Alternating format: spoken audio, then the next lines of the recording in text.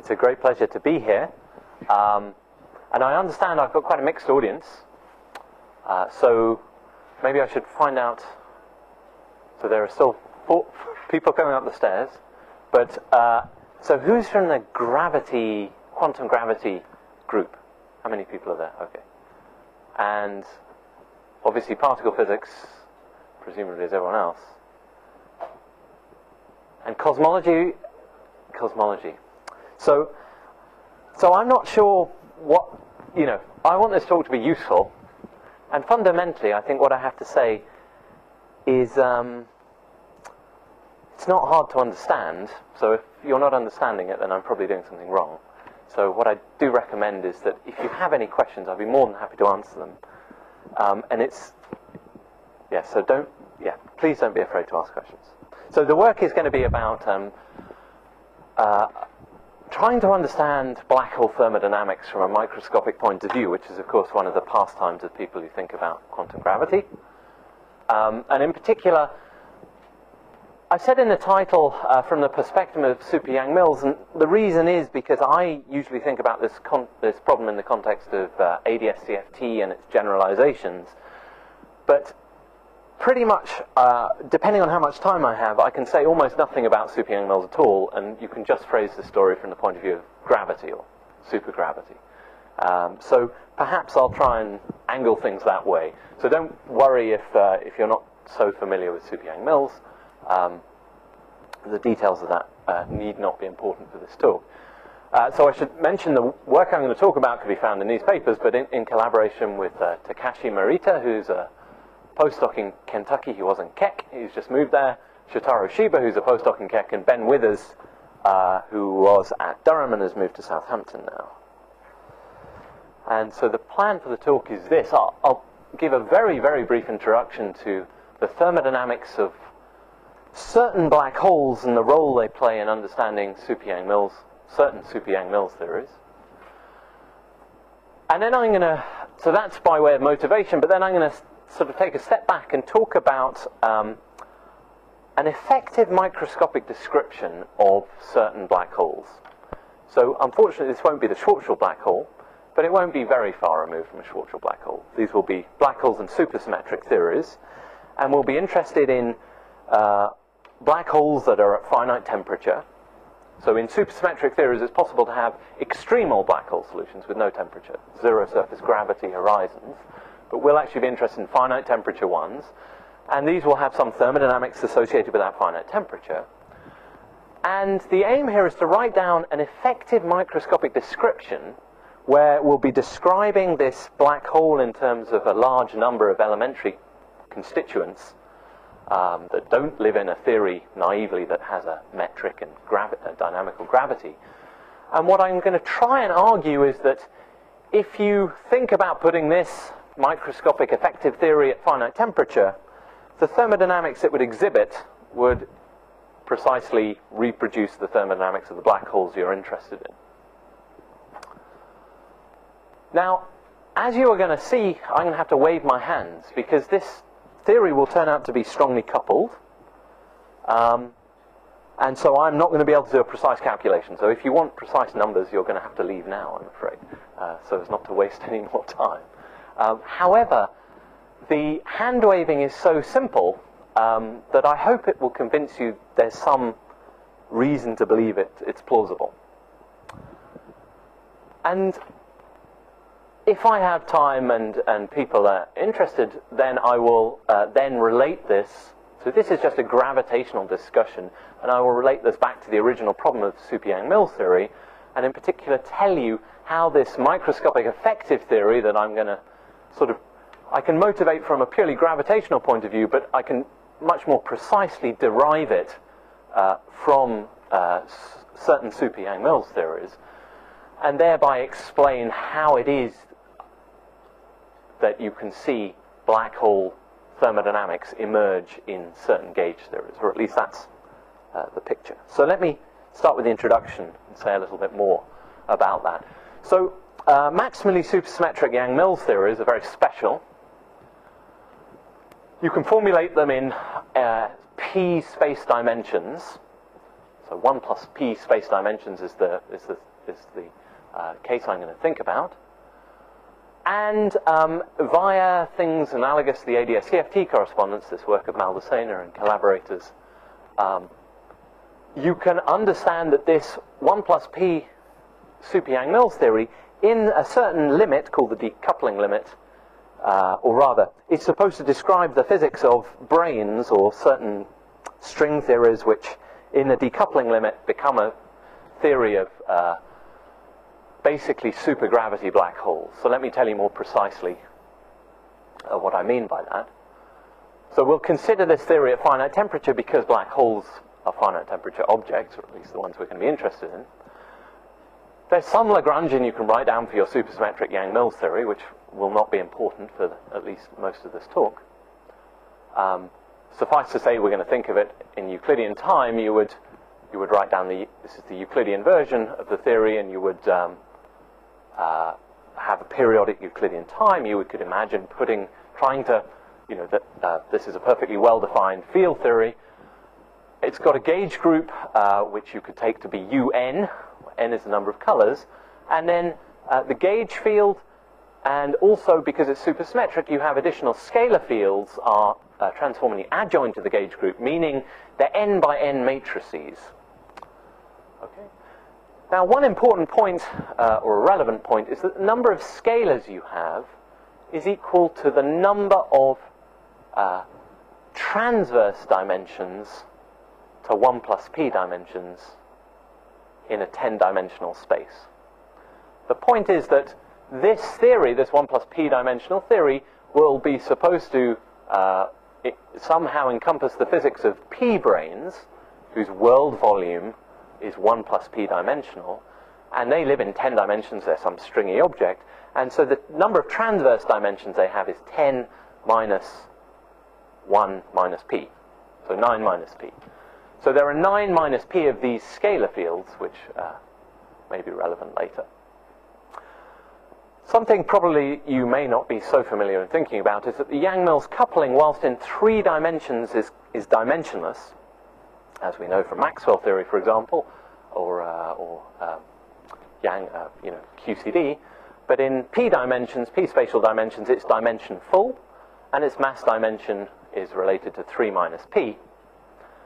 When you're at large n, the natural coupling, uh, as you may have heard, is not really the Yang-Mills coupling, a more natural coupling is the 't Hooft coupling, which is related to it by a factor of n. And there's a natural, um, you know, when you put a theory at finite temperature, temperature is dimensional scale. Um, so the natural dimensionless coupling that you can construct is to take that temperature in units of your natural dimension full scale uh, in the theory, which is this uh, some power of this 't Hooft coupling. So there's a dimensionless temperature which you can formulate from the actual temperature. And what this decoupling limit uh, boils down to from the point of view of the field theory is to say that you should consider a very large number of colors, a large rank of gauge group, and this dimensionless temperature you should keep to be of order 1. So that's some Yang-Mills theory, you can write it down. And then the rather interesting or remarkable claim well, how remarkable it is, I suppose, is the issue of this talk. So I think But- it's very hot then. In the sense that, well, you've got your dimensional temperature, but T itself is quite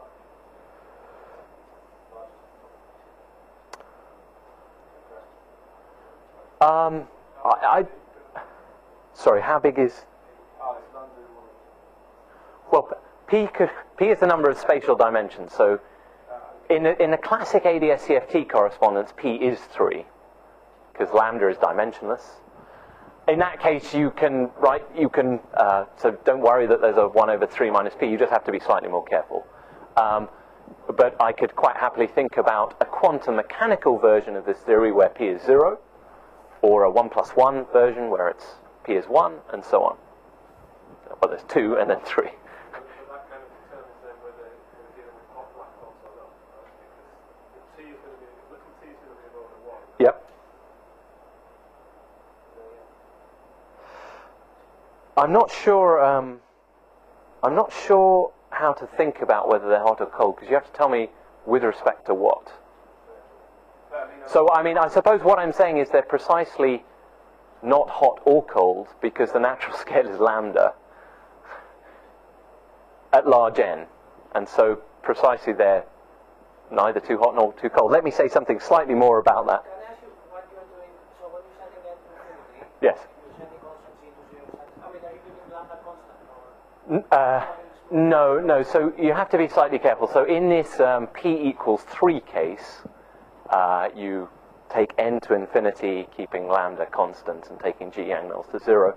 But remember, in when p isn't 3, you see, let me just, as a slight aside, um, people are obsessed by the ADS-CFT case, which is p is 3 because you get a conformal symmetry and the dual gravity, blah, blah, blah, blah, blah.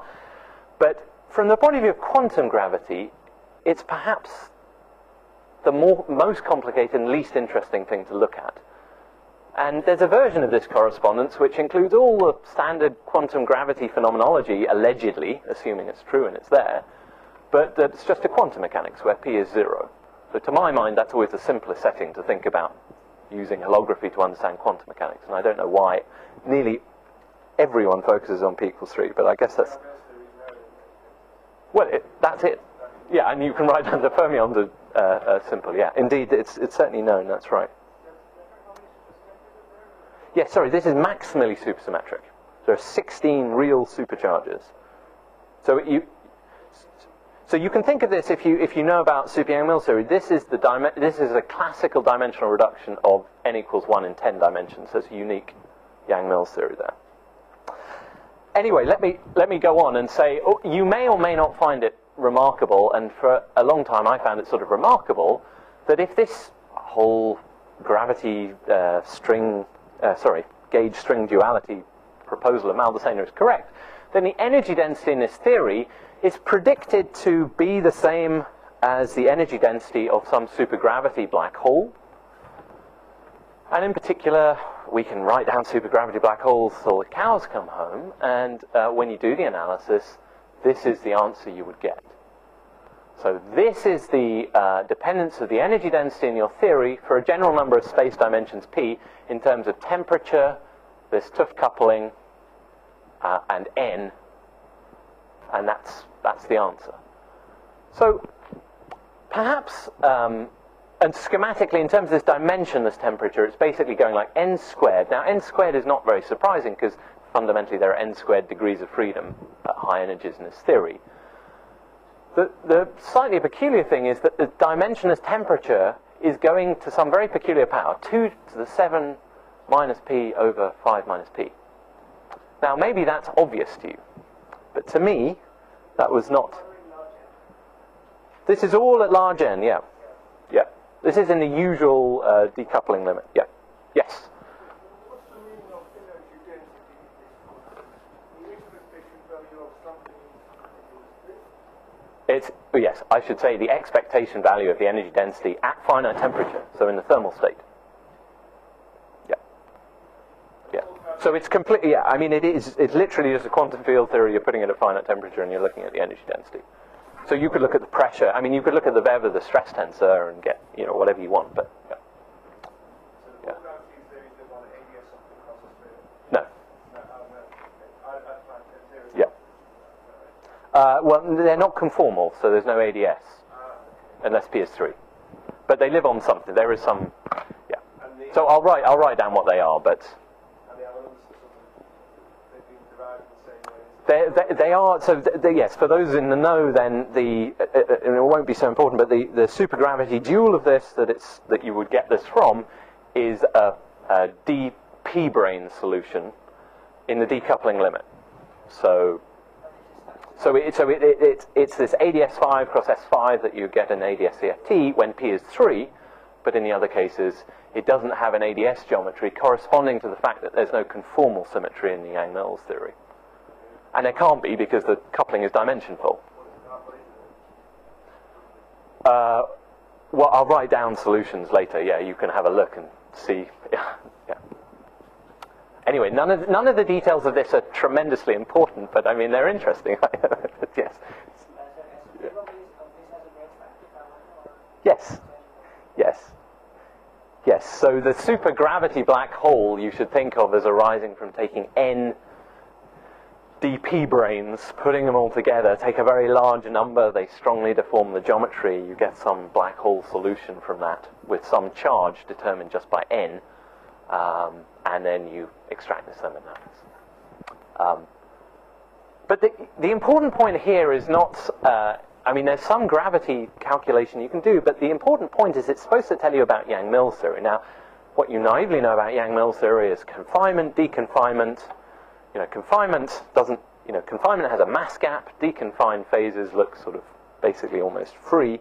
Um, this has a, has a very non-trivial temperature dependence. It's a power law, which is indicative of some infrared scaling dynamics, right, which is very it's very difficult to understand where that comes from in the Yang-Mills theory. In particular, for example, this power, 2, 7 minus p over 5 minus p.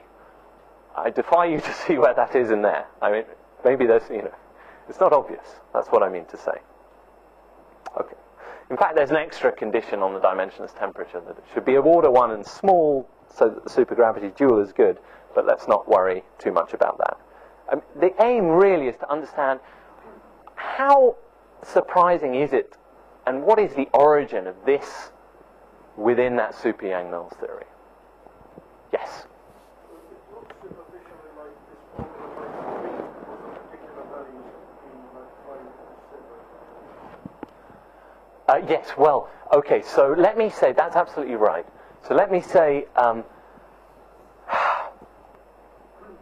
so Yang-Mills theory, as a, thinking of it as a, as a in, in terms of renormalization, is marginal in P is 3, it's super renormalizable in P less than 3, and it's non-renormalizable in P greater than 3. Okay, so now, string theorists um, like to think that this, because of all the supersymmetry, these theories may still be well defined in P greater than 3. So you can quite happily talk about D5 branes and D4 branes. These are believed to exist, and this sort of super Yang-Mills theory is therefore believed to have some, so, some sort of completion as a good quantum field theory. But just strictly coming at it from a quantum field theory point of view, going above P is 3 is a little bit peculiar. You have to have some other evidence that it would make sense to do that. You don't normally write down non-renormalizable theories um, unless you, you know, unless you understand cutoffs and so on well. Um, so let me just say, P is 5 is, this, is, is um, yeah, is the, is related to the 5 brane, which is a very peculiar object, and certainly peculiar things happen at special values of P. But let's, con- let's concern ourselves with only P is 3 or less, and then nothing peculiar happens. In particular, you might worry about uh, nothing peculiar happens in this in P is 3 if you take the limits carefully. Yeah, that's, that's right.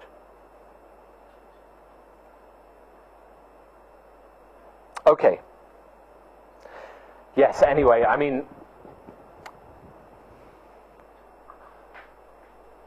let me just, let me skip this in the interest of time, because I I have a train to catch at half past five, and I've got a number of slides. So the idea is, that, that theory we just discussed is supposed to provide a fundamental microscopic description of some quantum gravity. At least in certain limits, it's a fundamental description of a quantum gravity that contains black holes whose thermodynamics behave like that. That's the claim. Um, there's been remarkably little study of directly trying to solve this theory because it's strongly coupled. So in particular, the regime of interest here, where t is of order 1, in fact t has to be of order 1 but small, um, the theory is strongly coupled. You're basically uh, in the, in the, in the you know, temperature, in coming back to what you were saying, temperature being order 1 means it's not really big or small, but in fact you've got to make it a little bit small. N's gone to infinity, but you've got to make this a little bit small in order for the supergravity to actually be valid. You get alpha prime corrections otherwise. And so um, at low temperature, when you're in a super renormalizable theory, uh, you're in a strong coupling regime. Just like in quantum mechanics, the low temperature behavior of quantum mechanics is strongly coupled. The high temperature behavior is trivial. So there's been surprisingly little work trying to solve this theory, partly because uh, it's hard. It's very hard. It's strongly coupled. So I should point to um, this. There was some very nice old work now by Kabat, Lifschytz, and Lowe a long time ago, basically trying to use mean field theory to just directly solve the thermal Yang-Mills theory in the case of P is zero, where it's just a quantum mechanics. And then more recently by Shi Ying and uh, Yin in Harvard. Um, and it's, it's very nice, um, somewhat complicated, and it doesn't seem to get the right answer, is the bottom line. Um, but it may well be possible to pursue it and get the right answer. A long time ago, I, uh, together with Simon Catterall, tried to just put this theory on a lattice in the case of p equals zero. It's just quantum mechanics. How hard can it be? Turns out to be somewhat challenging.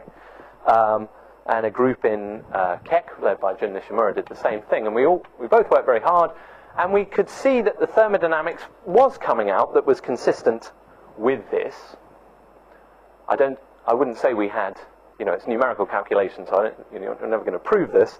Um, so it's Monte Carlo lattice. But, um, but the, the thing that struck me at the end of the day after working very hard for a long time and is that if you believe the correspondence, so what? You just showed that it's right, but no, no one's surprised.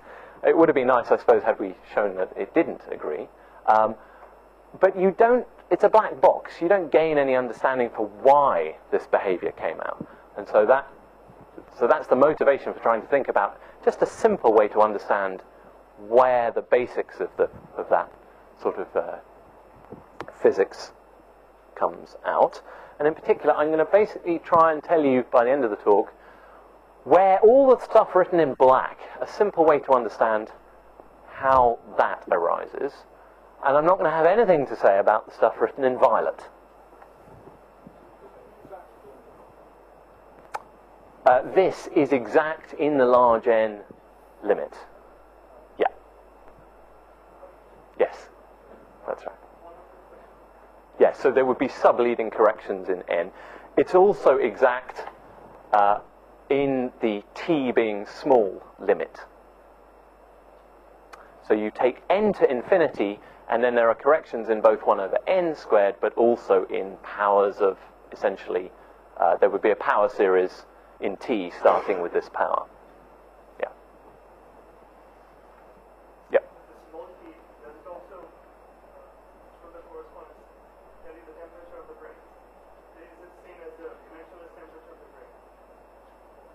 Yeah, I mean, there's, yes, both things are at the same physical temperature. Yes, the gravity and the. Very close to extremality. Yes, and in the de- you know in all of this, in the decoupling limit, the brane is, in some sense, close to extremality, and in some sense, it isn't. And I can elaborate on that if you're interested. It depends from whose perspective you're asking. Um, so, yes, it sounds trivial if you say it's in the in the near extremal limit, because it sounds like it's not very hot. But uh, the physics that's being captured is sort of like. Um, I mean, the point is because these branes are rather special, because of this scaling symmetry, there's a lot of interesting physics that can happen even at low temperatures. So it's not at all trivial in that sense. And it's the reason that when, you, when people talk about ADS-CFT, if you take D3 branes, you take lots of them, the solution's asymptotically flat. It's not ADS cross something, it's asymptotically flat. But if you focus in on this decoupling limit, you focus in near where the branes are, you get this ADS region, and then from the point of view of that region, you're far from extremality. It's very far from extremality. Anyway, let me carry, let me continue. So now let me not say any more about super Yang-Mills, probably till the very end of the talk. Let's talk about supergravity. Um, so supergravity has this generic form. I'm sure you're all uh, familiar with this. Uh, you have a dilaton, you have a form field, and if we want to couple our supergravity to p branes, this form field should be a 1 plus p dimensional form field. Um, there's some coupling here, which is uh, just um, sort of exponential coupling in this Einstein frame metric. And just for to be clear, this is actually going to be in a general number of dimensions. D, if you're interested in string theory, this would probably D would be 10 or 11. But what I'm going to say is actually just more general than that. So we're going to take big D dimensions. Our brane will be uh, 1 plus p dimensional, including its time on the world volume. And so the number of transverse dimensions, in fact, which is the thing that plays the key role here, is d minus 1 minus p. And I'm going to call that n. And note that this solution includes black holes. I mean, I could take this to be four dimensional and p is zero. And then this solution includes black holes that look like, uh, well, it includes the Schwarzschild metric, but the ones we're going to be interested in are charged. And so they look a little bit like Reissner-Nordström, except that they also have a scalar field. Okay, so not quite Reissner-Nordström, but they're not far off. Now, uh, I can then couple branes to this, and if I'm consistent with the supersymmetry, that tells me, uh, the, it determines the, the way they couple uh, uniquely, and so the metric on the branes is the pullback, not actually of the Einstein frame metric, but of a metric, the Einstein metric, scaled by this scalar, the dilaton, in some particular way. And then it also couples to the uh, vector to provide it, you know, they're, they're, a charge source for this vector field, this gauge field, um, and so they couple by the pullback of the form field here. And then an elementary brane in this theory, I should have said that there's a coupling mu, which is in some sense a tension. It's not quite a tension, but it's something like a tension. And it determines, more importantly, it determines the charge of a brane. And the elementary charge, let me call it little q, or charge density, I should say, little q, is related then to mu, and kappa, kappa squared is 8 pi g Newton. So it's just the Newton constant. And so the number, if you give me a, um, a supergravity solution with charge, I can tell you how many elementary uh, branes would be needed to make that same charge, and it would be big N, which is the charge of the gravity solution divided by the elementary charge. So then the then the idea now is to write down. We have these branes, these these branes that can interact.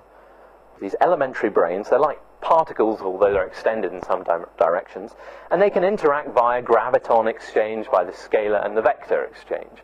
And so the idea is to say, well, they're, they're heavy in general, they're much heavier than the gravitons and the dilaton. So let's write down an effective action for those heavy degrees of freedom, integrating out the light degrees of freedom.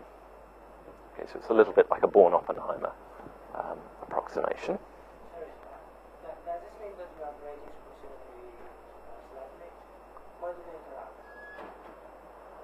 Well, they, anything with mass interacts with other things with mass. Uh, so, yes, be careful. I mean, the interactions can balance so that you have a zero force condition, but they certainly are exchanging gravitons and so on. That's right. So, um, so this would be the action. If you, if you, now, I have to say, there's a classical effective field theory calculation to do here, which I haven't done carefully. But to extract the terms that I've written here, you don't need to do a full calculation. Let me just say. Um, so, supposing we take our n parallel branes, we make them. So we, sorry, we take our n branes, They're extended in these world volume directions. So we make them parallel to each other, and then they share a transverse space of dimension n. So they live in Rn. And there are n of them. So we label the, or we, we can then parameterize their positions, the way they're embedded into this space-time, by some scalars. And because they're parallel, we just have these scalars, which are like fields valued in Rn, uh, valued over the world volume directions, this, this common world volume directions, 1 plus p. So then if we write down an action for these, if there was no interaction, if we ignored the exchange of gravitons and dilatons and so on, you would just get this term to leading order. So you just have the, you know, the integral over the world volume and the action, you have their tension, or this mu, and then you have um, some derivatives controlling basically, you know, basically they're objects with tension, and so this is their, um, this is their action where this, I should say, is these are contracted just with the Minkowski metric. The world volume is just flat. So they're just living in flat space, uh, flat min- ten di- or d-dimensional Minkowski space. So Now, now that's not quite true because, of course, um, what I've actually assumed, if to get that, is that the the curvature of the object is small as well. And so that simplifies this kinetic term like this. So think of a particle in general relativity just moving in Minkowski space. The kinetic term isn't uh, x dot squared. It's more complicated. It's the you know it's the pullback of the metric on the world line of the particles, but it's basically yeah it's basically root. Uh, you know, it's the, the action is the integral along the world line of the particle. Um, however, in the non-relativistic limit, where velocities are small, it just becomes x dot squared. And so that's what we're doing here. We're taking the non-relativistic limit for branes, if you like, which is like saying the gradient of their uh, moduli where they are is small. Remember, phi has dimensions of space. It's a, it tells you where they're embedded, so d phi is dimensionless. If you took the case of p as 0, this would exactly be telling you just v was small. So I'm working in this assumption.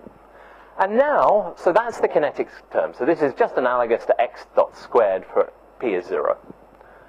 But now there's this, uh, we've, we've, they're exchanging gravitons, and we just, because they're slowly moving, that exchange happens very quickly. We can integrate out uh, the graviton exchange and get an effective action for these heavy branes. and the action you get looks like this. So if this was normal gravity and these were just normal particles, we would have our x dot squared term, and then we would have a Newtonian potential interaction, which would just be mu squared kappa squared divided by 4 pi times the relative separation, and you would sum that over all pairs of particles. Okay? And so the structure of this is very similar. Mu squared kappa squared divided by the separation. So the separation here is the dis relative displacement in the transverse space to the n minus 2, so 1 over r, what is 1 over r? When you talk about Newtonian potentials, 1 over 4 pi r is the uh, harmonic function in three dimensions. And so the analogous thing here is 1 over the sphere volume, an n minus 1 sphere, times relative separation to the n minus 2 if you're in n dimensions. Okay, so this is mu squared kappa squared that sphere volume and that is just totally analogous to what you get for normal Newtonian gravitational exchange. Um, and the only tricky bit, or the, the main tricky bit, is this stuff here, which is telling you it's arising because whilst um, in normal gravity you have a potential interaction, it gives rise to a potential, and we know that because if you've got two particles, um, they always attract each other. You can't keep them there, you can't have them sitting there unless you apply a force. Now, in supersymmetry, that's not true. The supersymmetry is very special, and it tells you that actually you can put these branes wherever you like in the transverse space, and provided they don't move, provided the phi's are constant in, in, in the world volume, that's a vacuum solution. And that arises because of cancellations between the various exchange of gravitons and scalars and so on. And it gives you, when you look at it, this derivative structure also in the interaction.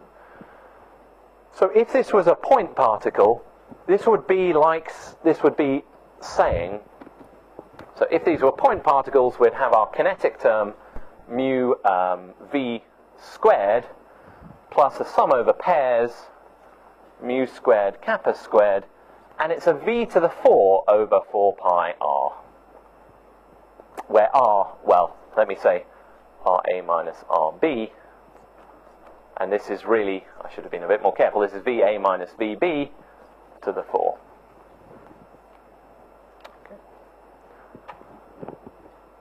And, oh, sorry, this was in, uh, if I'm in D equals 4. So particles in D equals 4 would look like this. So the, the big change over the Newtonian potential is this velocity to the 4 part. No, oh, no, no, no, no, no, no, not at all. These phi's are functions of the world volume coordinates. They're fields. So they're precisely not rigid. That, these fields are precisely describing the degrees of freedom of the brane. And so they have kinetic energy precisely because as they bend, it costs them energy to do that. Okay. So, in fact, uh, if you did the classical effective field theory calculation, which I haven't done, so I can't, this is, but I believe it's, it's obvious. If you think about post-Newtonian expansion in GR, uh, if you think about a particle in GR, you get a Newtonian interaction, but then you get higher order corrections in an expansion in kappa squared, and depending on what you expand in, there are certainly other terms. And here would be the same. So if, if I've got these multiple branes, if this is their positions in the transverse space, this first term that I wrote down is arising from graviton exchange between pairs of branes. But you would also expect graviton interactions involving three branes at a time at higher order in kappa. Okay? And you know, multiple graviton exchanges.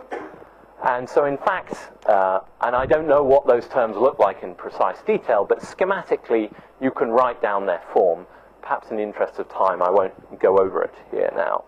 But uh, certainly, this is really the leading terms in an expansion in kappa squared, and there's an infinite number of terms.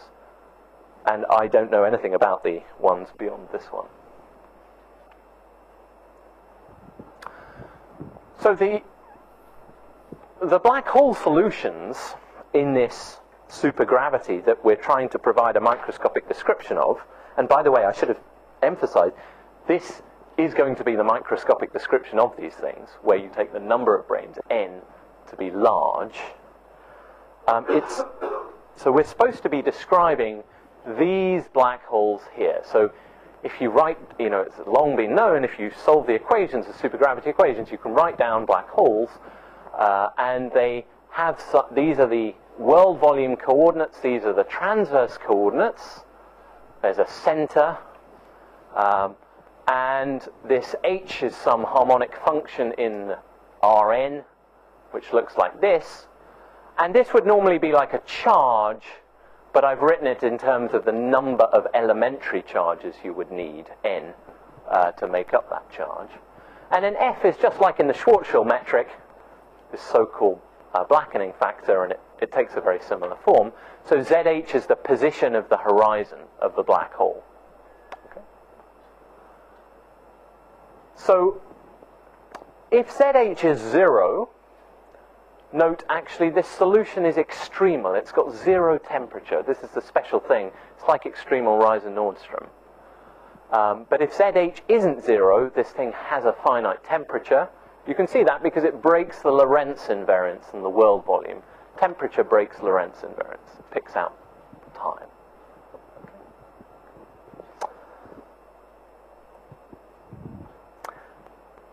Now, you can take that solution, as was done long ago, you can compute its thermodynamics, using the standard prescriptions. And we, um, for reasons that I can't uh, explain but will just show you, the, the thermodynamics that we're interested in is not the general thermodynamics of this object, which, by the way, is asymptotically flat, because as you make Z very big, as you go away from the black holes, you just recover Minkowski space in d dimensions. So that's not the thermodynamics we're going to be interested in. These objects have this interesting thermodynamics, basically governed by the temperature, or ZH, and the charge, or N, two parameters. And in some limit uh, where the charge is small, what you're really seeing is a sort of thermodynamics of asymptotically flat um, black holes. But if you turn, if you go to this decoupling limit, as you're told to do when you think about ADS-CFT or its generalizations, what you should do is you should take the charge to be very large and look at um, finite but small uh, energy excitations above extremality. And when you do that, the thermodynamic behavior simplifies a lot because you had two parameters, but you're basically getting rid of one of them in that, in that limit, and it's a scaling limit. So there's still non-trivial dynamics there, um, but it becomes simpler. And the energy density then looks like this when you take that limit. And as you can see, it's some particular power of the horizon position, uh, ZH to the n minus 2, and ZH can be written in terms of temperature in this way. Okay. So this isn't the general thermodynamics, this is the thermodynamics in this near extremal limit, where you've got a big charge, but you've got a finite energy. And um, again, there's violet in these expressions, and what I'm going to try and convince you of in the next few slides is that it's actually easy to close your eyes a little bit and understand where the black bits of these expressions come from, and I will have nothing to say about the violet bits. Um, but I think the violet bits are less interesting, uh, or at least rather detailed. One thing is that, of course, this is only in the decoupling limit, and you can ask, what about corrections to the decoupling limit? What controls them?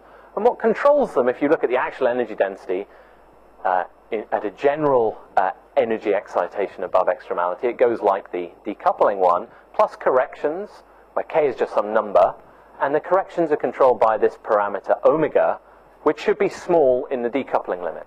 And so omega, again, has some particular form. And I, I, have to say, I don't think any of these are particularly obvious. You know, if I said to you, is it obvious that uh, the you know ZH would be related to T in this way? Probably it's not just intuitive that you would write down the form of those expressions.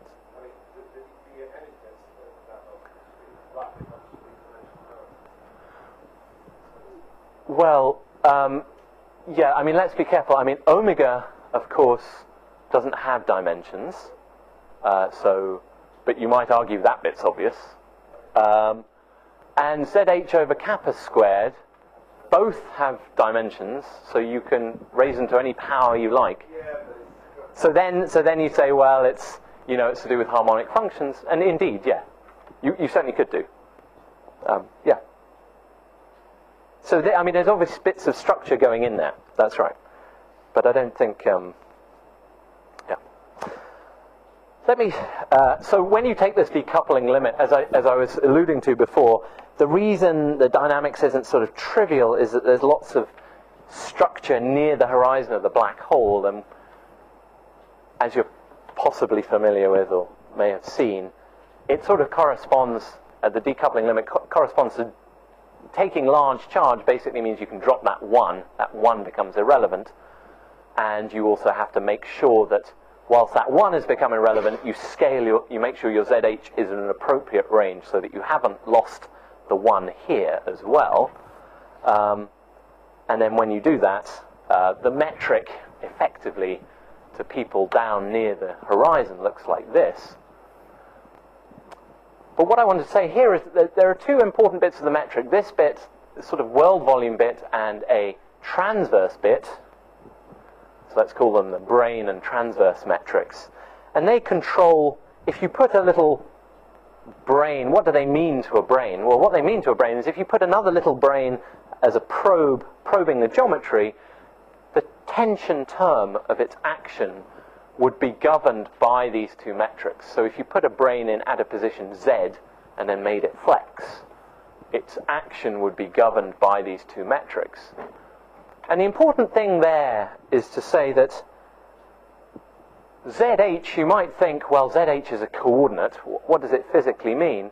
What it's physically telling you about is the size of this sphere in the transverse space at the horizon. And this metric here, I mean, it's got this factor out the front, but actually what branes care about is this metric, not this whole Einstein metric. So it's this bit. So ZH is actually telling you about the size of the horizon in the metric measured by the branes. So why is that important? Well, we'll come on to that shortly. So now we're set up, I can try and argue the forms of these expressions from this microscopic theory.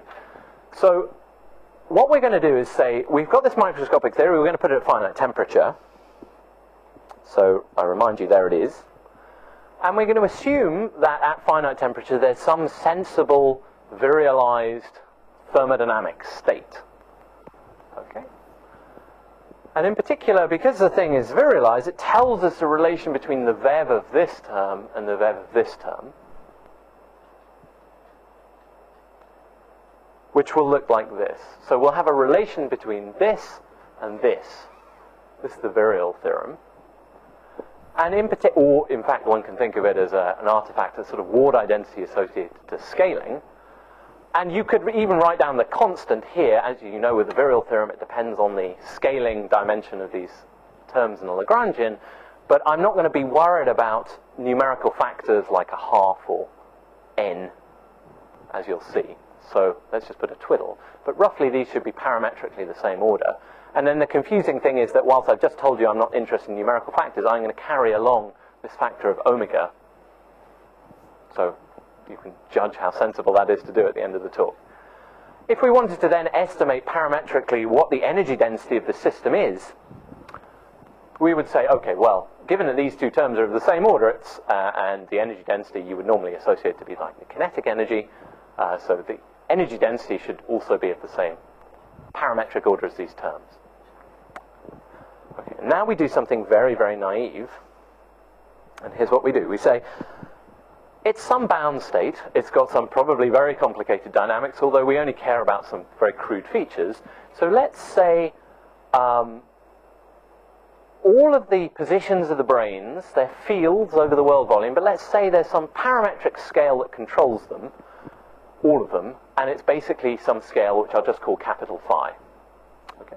And I'm also going to say that the, the relative separations of all branes is just the same scale. Parametrically, uh, it's going, I'm going to estimate it as the same scale. And I'm going to do likewise for derivatives. I'm going to say, okay, well, I don't know what the derivatives are, but I'm going to assume I can estimate them all as being the same, uh, governed by some scale d phi, and likewise for their differences. And then at large n, I'm going to say that these sums go like n, and sum over pairs of interactions go like n squared.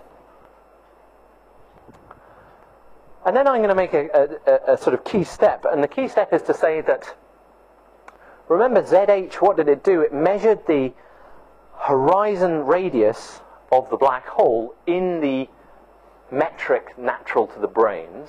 And so given these scalars phi in this, in this effective theory are telling you the positions of the branes in their transverse space, that's what they were originally, it seems natural to say that ZH should be related to the VEV of the scalars.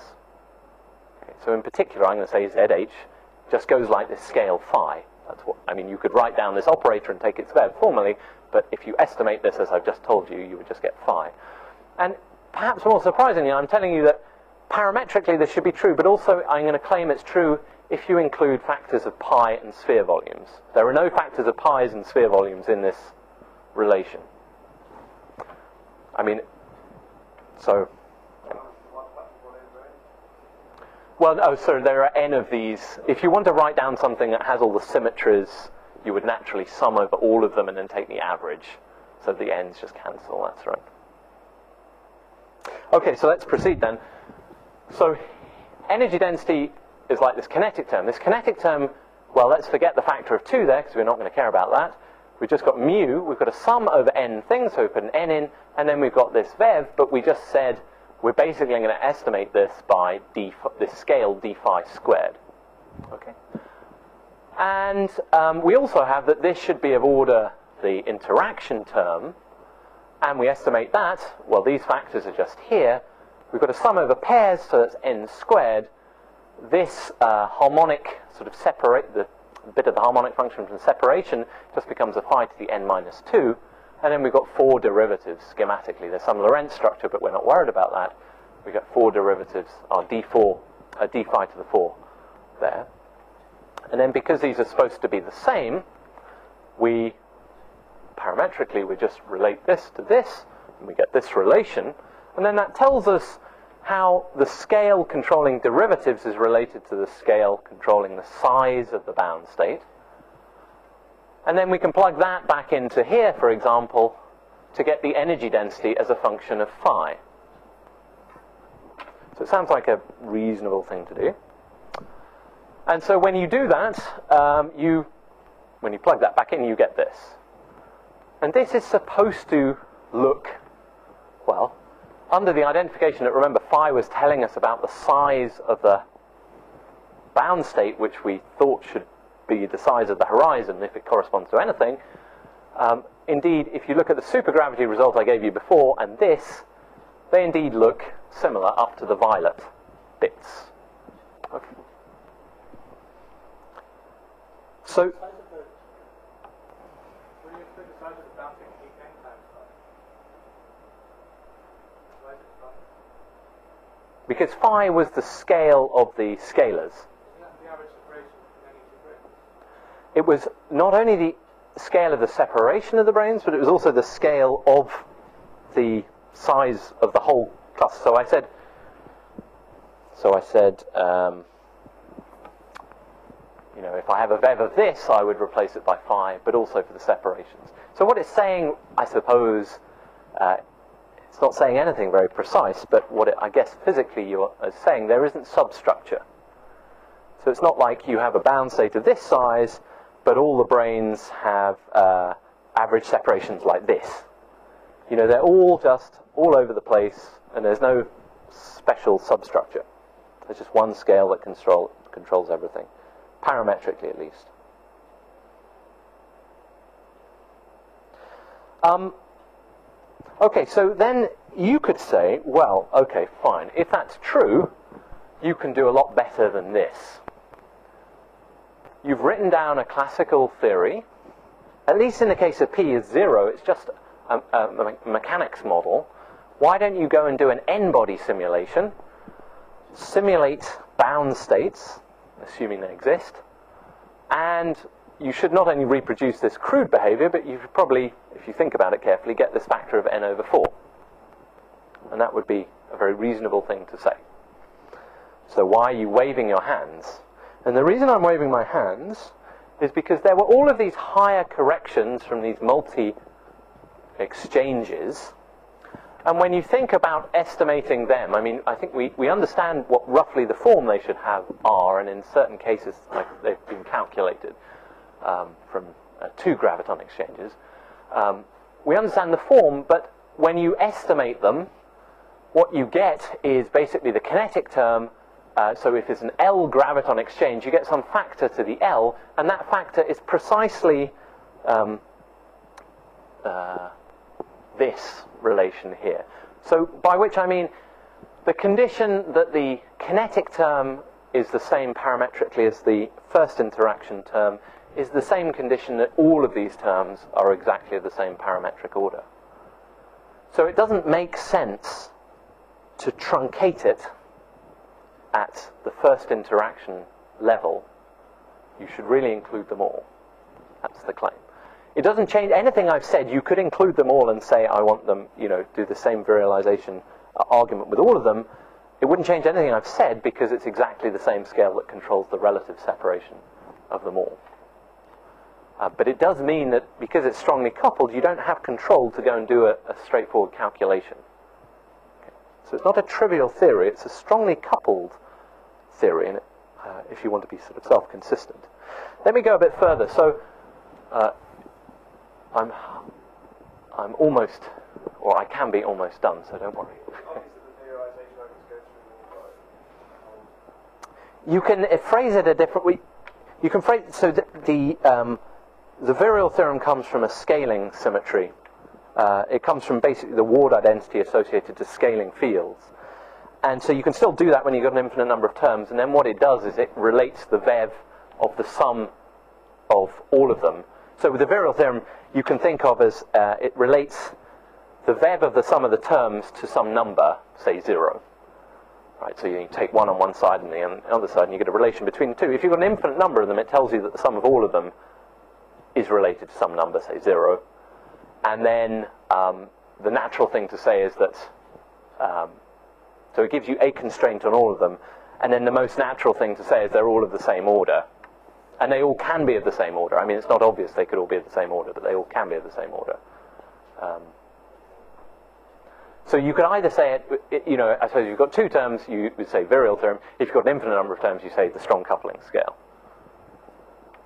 Um, you could still, you can still get a, a, a anyway, let me not say more. So um, now let's consider temperature. So we've got this scale d phi that, uh, can we do better with that? And the point is, the argument is going to be this. Yes, we're going to estimate our scale d phi as just temperature times phi. So, okay, so fine. On dimensional grounds, temperature has units of uh, inverse length, so that's great. That looks right on dimensional grounds. But there are other scales around that have units of temperature. For example, this thing. What has, uh, uh, yes, certainly has the right units to, to put in there. So why on earth would you just use temperature? And the reason you would just use temperature is that the whole point about this theory is it has some interesting infrared scaling dynamics. And if you've got a theory with infra interesting infrared scaling dynamics, it may have some fundamental energy scales in, but if you go to very low energies, you should lose sensitivity to those fundamental scales. And then the only scale at very low temperatures that you have, if you have non-trivial dynamics there, will be temperature. So if you have a theory, uh, some complicated quantum field theory, and it flows to an infrared fixed point that's a conformal theory, derivatives in that theory should just be controlled by temperature. Right? There, there aren't other dimensional scales. Now, this obviously isn't true. If you take quantum mechanics, it doesn't have interesting infrared physics because it's got a mass gap, in general, I should say. So take the harmonic oscillator. You have a mass gap. So you don't have anything like this. So this certainly wouldn't work for the harmonic oscillator. But this is a very different sort of system, evidently. Um,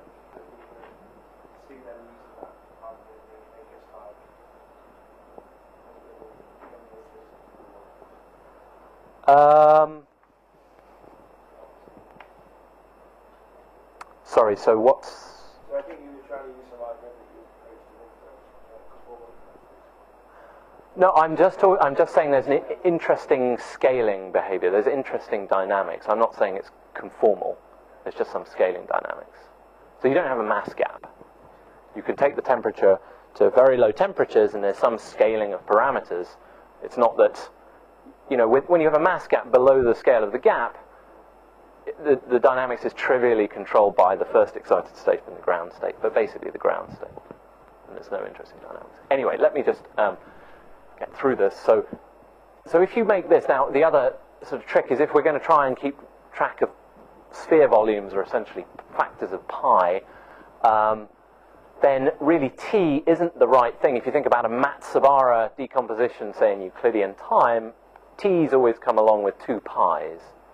So twos we don't care about, but pi's we should be careful of. So really we should have a pi t here. So recall we had this relation from our virial estimate or a strong coupling estimate. We have this goes like this, and then we say, well, this d phi is pi t phi, and then I can solve phi from this and get it as a function of t. And in supergravity, this was the expression we had. And here, this is the expression we have. And recall that we're claiming that phi just measures the size of the black hole and should be identified by with ZH. Yeah.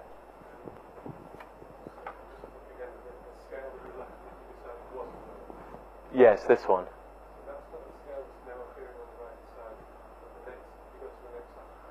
No. one. No. No. No, there's some factor here, n minus 2. So, so now with this simple estimate, we re- reproduce this, which recovers this with this factors, not including the violet. Okay? And again, uh, so if the energy one was a bit too simple, and I mean, the form of this, I've no idea how you deduce just by thinking about it. So, there's one more thing. We had assumed, for consistency, that these branes were sort of non-relativistic. They're slowly moving or slowly bending, weakly bending, um, requiring that to be small. Now that we can check self-consistently whether it's true or not. So that we estimate as d phi squared, which we I told you what it was, uh, claimed what it was, and then we know phi in terms of t, so we get this. And so this consistency condition that we started with uh, tells us that we should believe that, you know, we should only believe our arguments if this is true. And I also told you from supergravity, you know that the actual energy isn't really the decoupling energy, there are corrections to it when you go away from the decoupling limit, and this parameter omega is precisely the same thing, the thing that controlled that limit. So again, um, the fact that we had assumed this tells you this condition, which you also had in the gravity. Exactly the same thing with all the right factors. There's one other thing I, I understand. I'm. Could I have two more minutes? One other nice thing. Uh, this is a beautiful thing, and I kick myself for not realizing this earlier because it's so trivially simple when you think about it. You can ask. Suppose if we've got this complicated in the transverse space, we've got this. What I guess I called, well, we call them the paper a soup because it's not too warm and it's strongly interacting, uh, just like soup or the best soups.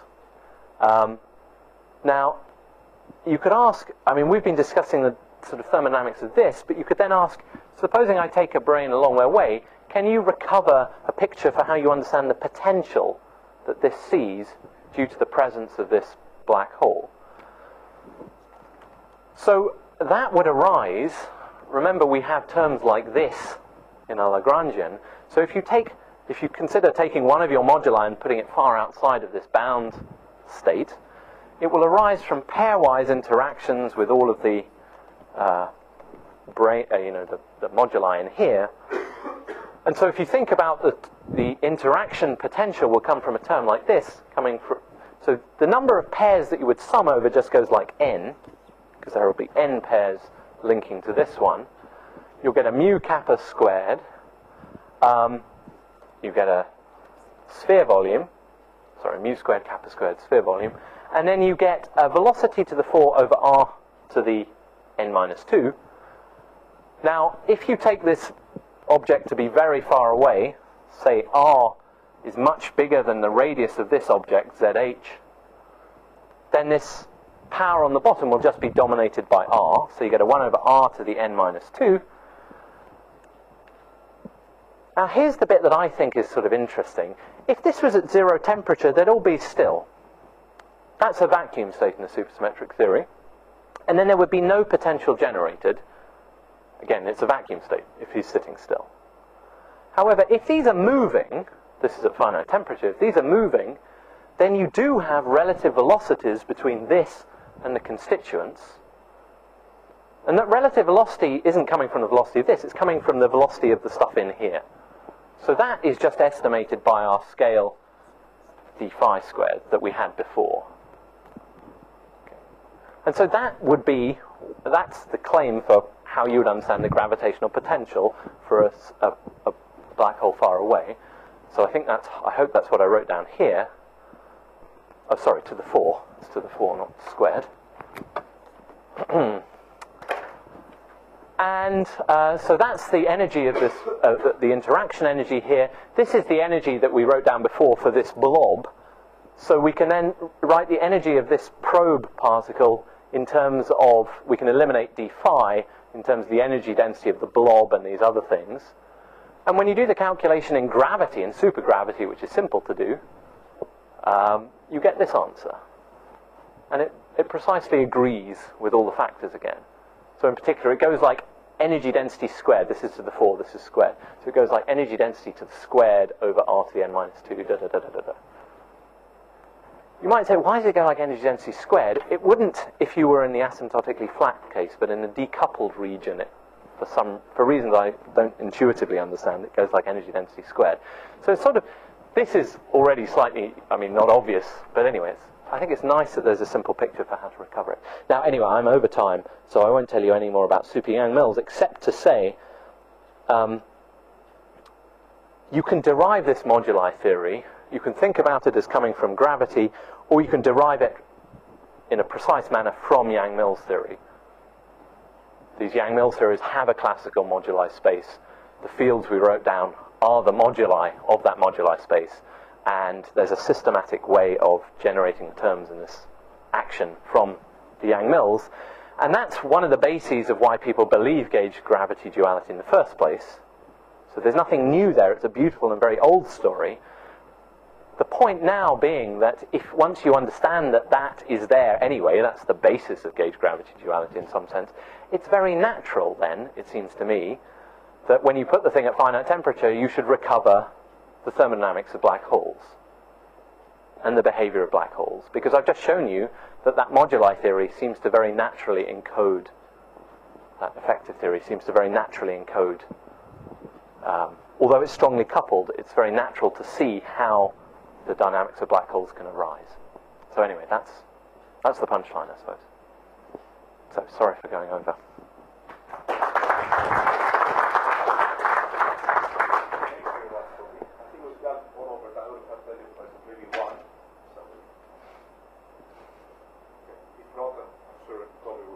Yes, absolutely.